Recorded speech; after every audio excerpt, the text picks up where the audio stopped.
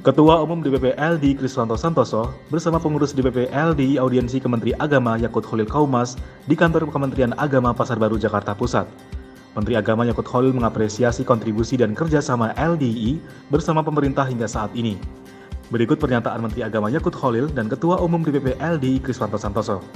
Ya, saya kira banyak program yang bisa kita kerjasamakan karena Kementerian Agama ini saya sudah sampaikan di awal bahwa Kementerian Agama ini milik semua agama. Tentu di dalamnya adalah agama Islam. Di dalam agama Islam itu banyak ormas di sana. Ada Nahdlatul Ulama, ada Muhammadiyah, ada LDI, udah banyak sekali.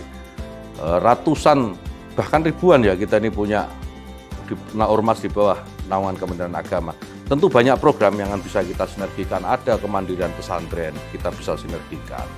Ada eh, apa pengembangan madrasah, kita bisa sinergikan. Banyak sekali.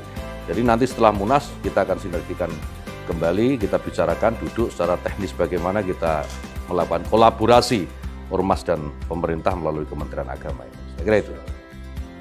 Assalamualaikum warahmatullahi wabarakatuh.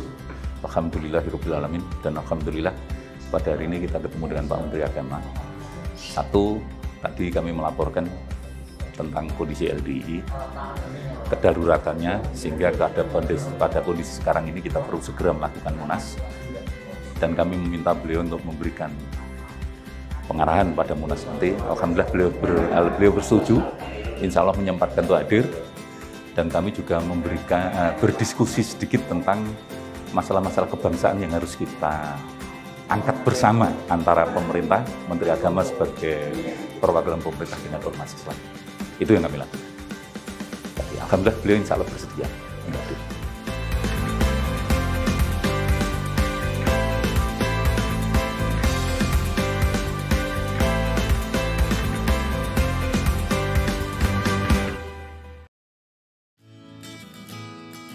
Alhamdulillahi jazakumul khairah telah menonton video ini. Jangan lupa klik tombol subscribe untuk menunjukkan dukungan ke channel LDI TV dan klik tombol lonceng untuk mendapatkan update video terbaru. Wassalamualaikum warahmatullahi wabarakatuh.